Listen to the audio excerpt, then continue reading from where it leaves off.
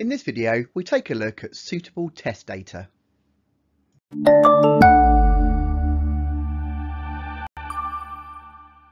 So once you've written a program, you need to be able to identify and suggest suitable data that you could use to test it in a variety of scenarios. Now, in order to do this, we're going to look at a very simple program that's shown on the screen, and we're going to suggest some types of test data you might use and why. So I've identified 10 separate tests here and 10 bits of test data we could use. If we take a quick look at the program, we can see it prints, uh, it prints three lines of text to the screen.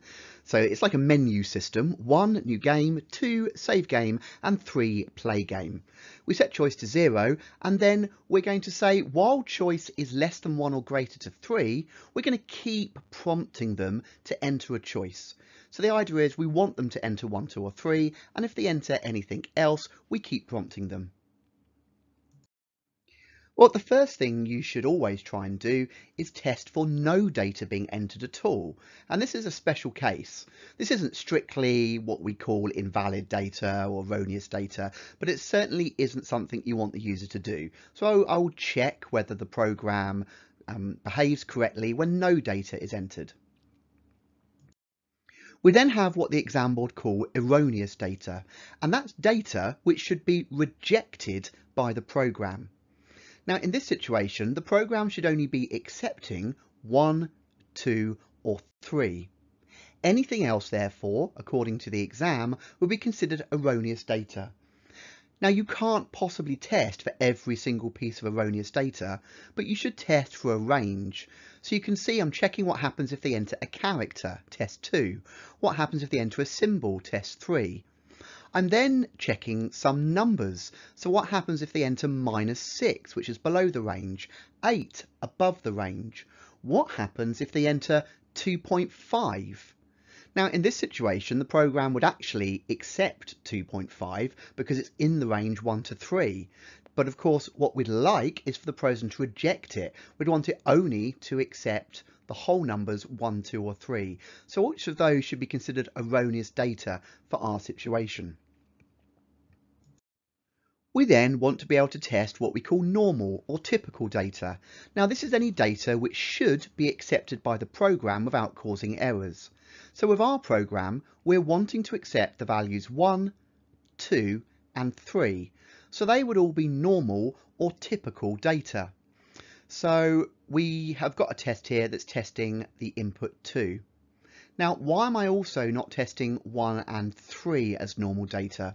Well, let's have a quick look. You also need to know about boundary and extreme data. Now this is data of the correct data type, which is on either edge of the accepted validation limits.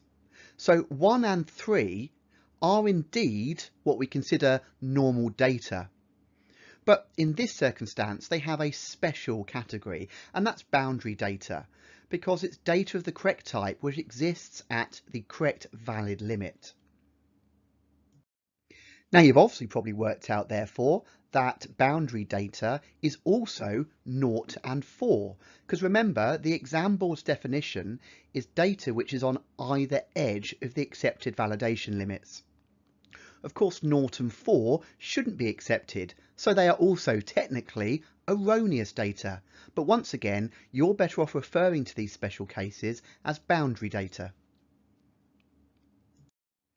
Now, when being asked to identify suitable test data in the exam, you'll probably be given a slightly more complicated example than the one we've just shown you. So have a look at the image on the right here. What data could we use for this car park ticket machine software? Well, the first thing to note is there are lots of different variables here. You can see that um, the system is going to be charging different amounts depending on how long they stay, one hour, two hours, indeed arriving after 9.30. We can see there are special rates for a Sunday and in evenings. We can see there are certain times when the car park isn't even open, so we need to consider that in our test data. Now, there's a large variety of tests and therefore appropriate data that we could use. Here's just a few suggestions. Test whether someone can do half hour parking, an hour, an hour and a half and multiples thereof. What happens if it's a Sunday parking situation or evening parking past 7pm? What about parking before 9.30 or after 9.30? And tests that involve entering data where someone's trying to park during invalid hours. So let's just recap. Test data needs to include a range of inputs. Normal or typical inputs is data which should be accepted by a program without causing error, whereas erroneous inputs are data which should be rejected by the program. Boundary or extreme inputs is data of the correct type which is on either edge of the accepted validation limits. So if the allowed range was 1 to 10, then boundary data would be 0 and 1 and 10 and 11. Note that some of this data is actually also classified as normal or erroneous, but it has a special meaning in this situation.